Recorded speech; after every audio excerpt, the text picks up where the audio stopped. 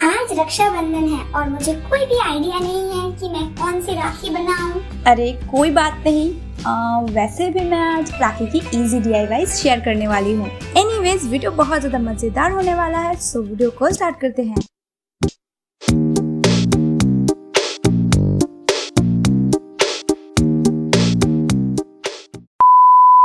तो मैंने यहाँ पर फेविक्रिल की मोल्डेड क्ले ले लिया है।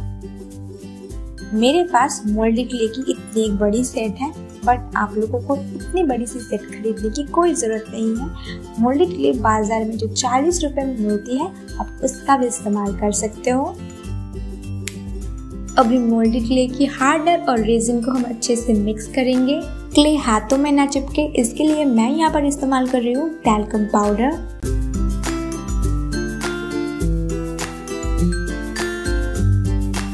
क्ले को अच्छे से मिक्स करने के बाद मैं एक नाइफ की हेल्प से क्ले को एक स्क्वायर शेप दे दूँगी।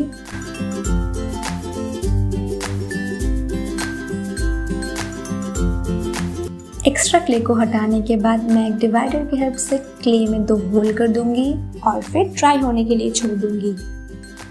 क्ले एकदम ड्राई हो चुका है। अब मैं जेसो का एक कोट अप्लाई करूँगी। अगर आपके पास व्हाइट जेसो नहीं है then you can use white acrylic paint as well gesso एकदम ड्राई हो चुका है और अभी मैं कलरिंग करना स्टार्ट कर दूँगी।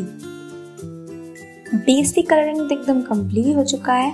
अब मैं इसमें व्हाइट कलर कुछ डिटेल्स ऐड करूँगी। मैं इस राखी में कुछ ट्रेडिशनल चीज़ें ऐड करना चाहती हूँ।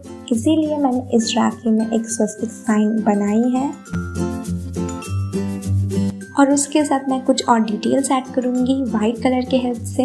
और उसके बाद हमारी जो पहली वाली राखी है वो एकदम रेडी हो चुका है। अभी मैं फटाफट वर्निश का एक कोट अप्लाई करूँगी और उसके बाद हमारी जो पहली वाली राखी है वो एकदम रेडी हो चुका है। ये बहुत ज़्यादा अच्छी बनी है। मैं तो, तो ज़रूर ट्राई करूँगी। आप फटाफट दूसरी वाली दिखाओ। मैं और ज़्यादा इंतज़ार नहीं कर सकती। थैंक्स अलॉट अरे हाँ हाँ चलो हम सेकेंड डी की तरफ़ चलते हैं।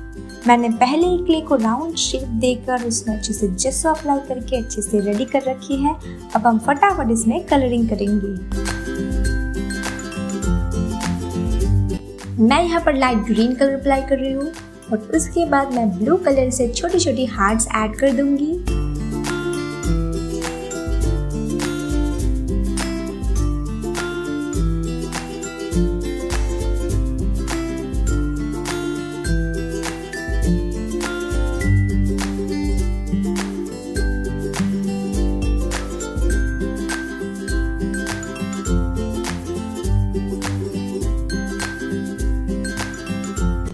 आखिर में ब्लैक और व्हाइट कलर की डॉट्स ऐड करने के बाद हमारी जो ये वाली राखी है वो एकदम कंप्लीट हो चुका है। अभी मैं वर्निश का एक कोट अप्लाई कर रही हूँ। ये वाली राखी भी एकदम कंप्लीट हो चुका है और ये वाली राखी भी मैं ज़रूर बनाऊँगी। अब थर्ड वाली देख ले क्या? हाँ हाँ चलो अब बढ़ते हैं थर्ड डीआईवाई की तरफ़। सो so, मैंने यहाँ पर क्ले को अच्छे से मिक्स करके राउंड शेप दे दिया है। फिर मैं पेन की रिफिल के हेल्प से क्ले के दो साइड्स में होल कर दूँगी। पेन की रिफिल क्यों? वो डिवाइडर कहा गया? एक्चुअली वो डिवाइडर खो गया।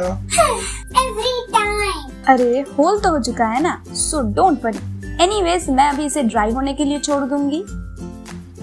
और उसके बाद जेसो का एक कोट अप्लाई करूँगी। अभी मैं पेंसिल से एक के बाद एक सर्कल्स ऐड करते जाऊँगी। वैसे क्या बनाने वाली हो कुछ समझ में नहीं आ रही है। मैं यहाँ पर एक इवल आई बना रही हूँ। अब ये इवल आई क्या होता है? मुझे तो ये सुन के थोड़ी सी डर लग रही है। अरे ईवल आई कोई डरने वाली बात नहीं है। इनफैक्ट ईवल आई तो हमारी प्रोटेक्ट करती है। और भाइयों के लिए तो ऐसी एक राखी बनाना बनता है। अब जानने जाना आई एनीवेज मैं अभी ब्लू की बहुत सारी शेड्स व्हाइट कलर और ब्लैक कलर को अच्छे से अप्लाई करूँगी।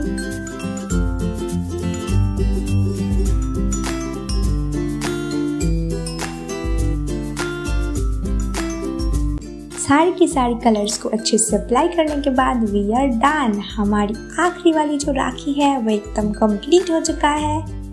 वाह ये तो सच में बहुत ज़्यादा सुंदर लग रही है। आ, मैं इसे भी ज़रूर ट्राई करूँगी। ठीक है ठीक है ज़रूर देखूँगी। आ, तुम शायद कुछ बोलना भूल रही हो। हाँ हाँ अभी याद आई है। एनीवेज मेरी और डॉन की तरफ़ से अब सभी को रक्षाबंधन की हार्दिक शुभकामनाएँ।